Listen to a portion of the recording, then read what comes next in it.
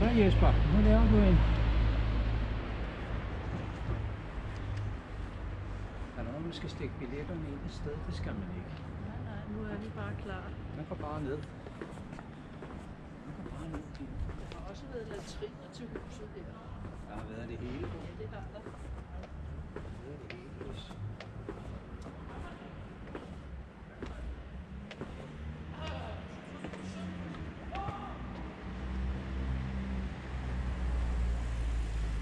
Ej, hvor er det skønt, når der ikke er nogen turister. Ikke kun os. Ja, det er utroligt godt. Vi er de første kunder i dag, du. Det er jo helt fantastisk.